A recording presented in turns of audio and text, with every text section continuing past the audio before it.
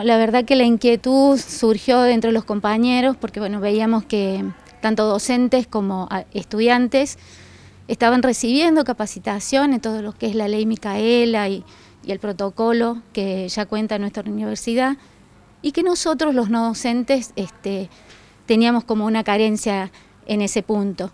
Así que bueno, armamos un pequeño proyecto eh, para, poder abordar la ley Micaela y cómo se, cómo se implementa el protocolo de prevención en situaciones de violencia y acoso en el ámbito laboral.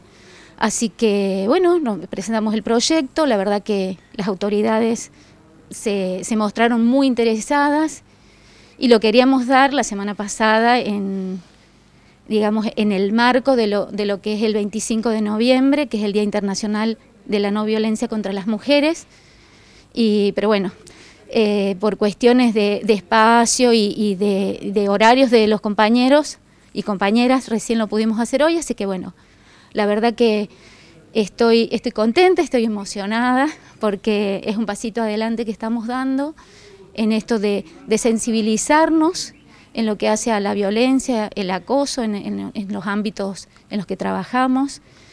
Y bueno, estamos focalizados en, este derecho que tenemos todas las personas de trabajar en un ambiente libre de violencia, libre de discriminación, en la cual nos podamos desarrollar eh, profesionalmente y como personas equitativamente, ¿no? Y que, no haya discriminaciones ni, violencias de ningún tipo. Emma, ¿y a quién va dirigido? ¿Quiénes son las personas que están participando en esta propuesta? Está dirigido a los compañeros y compañeras no docentes y también hemos invitado a, las autoridades de nuestra facultad, decana, vicedecana eh, y bueno, y todas las secretarías que están en la gestión en este momento.